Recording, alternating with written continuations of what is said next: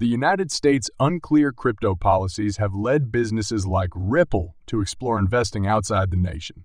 Brad Garlinghouse has claimed the Ripple CEO advised the U.S. to follow the UK and Singapore. How do you think this will affect the cryptocurrency and the U.S. economy?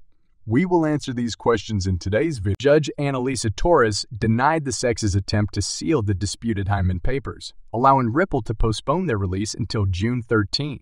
According to a court order, the documents, which include former SEC Division Director William Hinman's 2018 summit speech declaring Ethereum, ETH, and Bitcoin, BCE not securities, were expected to be released on June 6. The court order on September 9, 2022, specified that both parties had precisely 20, one days following the sealing judgment to produce public redacted summary judgment materials. Since the judge ruled on May 16 defense counsel James, defense counsel James K. Filan anticipated these discoveries on June 6. On May 19, Filan tweeted that Ripple and the securities regulator requested a one week extension until June 13, 2020 to file public, redacted versions of cross motions for summary judgments and accompanying exhibits, which includes the Hinman materials. As he later confirmed, the judge approved this request, which the parties filed in light of the voluminous nature of the materials and redactions. As was the case with the previous expert testimony motions, called Daubert motions, which were significantly less voluminous, the letter states. According to pro Ripple lawyer John Deaton, the Hinman email release will include Brett Redfearn, SEC Director of the Division of Trading and Markets, who told Hinmans that this speech is going to lead to more market confusion, as Deaton told Fox Business journalist Eleanor Terrett on May 21. Ripple's chief legal officer, Stuart Alderoty, previously cited a U.S. Supreme Court opinion that legal teams and courts should adapt factors from old cases to fit the evolving legal landscape, suggesting that the Howey test should be interpreted within the common law framework. Last week, he cited a 1976 Supreme Court ruling in which the SEC ruled that art lithographs offered for investment were not securities if the vendor had no post sale contractual commitments to the buyer.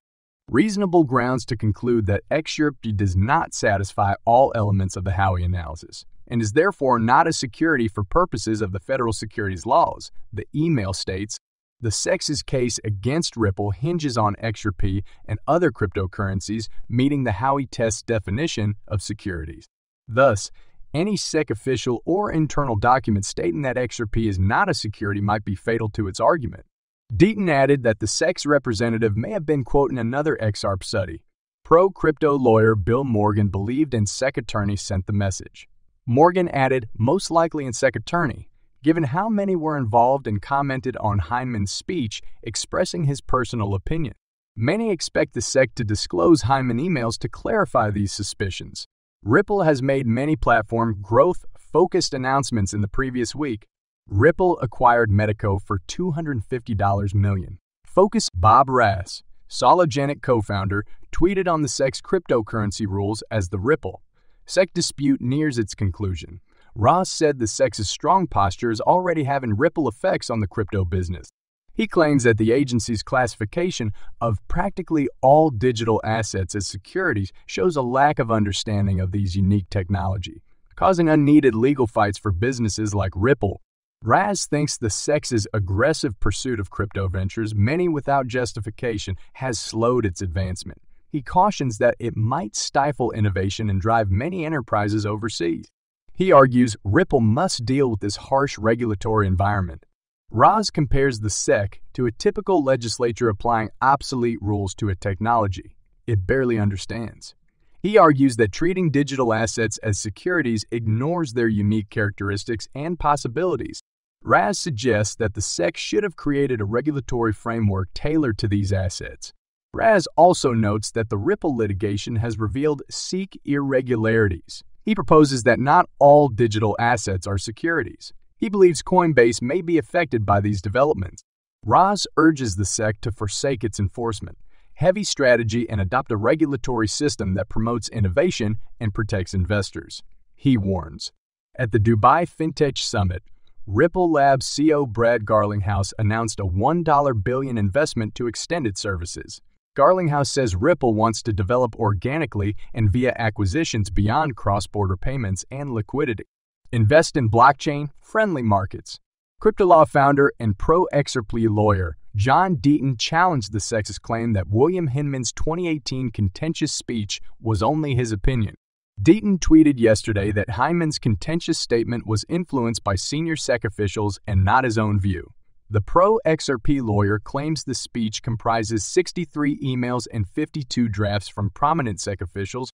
Deaton commented on his July 2022 tweet on the document's email chain. Deaton revealed last year that Hinman's documents email chain excludes just the ethics office and ethics chief Danae Serrano. Deaton's new tweet drew crypto community responses. Former SEC lawyer Mark Fagel remarked on the article. Fagel reminded Deaton about SEC Notion. Fagel said that any SEC official's comment that was neither an enforcement action or a regulation agreed on by five commissioners represents the speaker's opinions alone. He inquired why people don't comprehend SEC's viewpoint. Deaton said that people grasp the notion. He contended that the SEC usually makes transactional arguments, which Judge Sarah Netburn called out. The U.S. District Judge previously accused Commission Counsel of lawlessness Deaton's new comments emphasize Hinman's 2018 Yahoo Finance All Markets Summit speech issue. In his remarks, Hinman deemed Ethereum and Bitcoin non securities after Ripple demanded the documentation behind the speech. The crypto community took notice. The sexy speech related debates are known as Hinman's papers. After Ripple referenced the paper, the SEC said Hinman's speech represented his view, not the Commission's. Deaton disputes this. The SEC altered its position when Judge Sarah Netburn dismissed its petition to seal the documents. As reported by the crypto, Basic Judge Analisa Torres just unsealed Hinman's materials. Europe has been a significant beneficiary of the SEC's crypto business misunderstanding. According to Ripple CEO Brad Garlinghouse, crypto enterprises must invest abroad due of misunderstanding. Garlinghouse, whose business purchased Swiss crypto startup Metaco on May 17, told CNBC that the SEC's crackdown would restrict his company's contacts with U.S. corporations and residents. Unfortunately, the SEC crackdown has encouraged companies like Ripple to invest more abroad. For the same reason, 95 of our consumers are non US, Garlinghouse remarked. The CEO called Ripple's purchase of Swiss firm Metaco a perfect fit in terms of clients and location.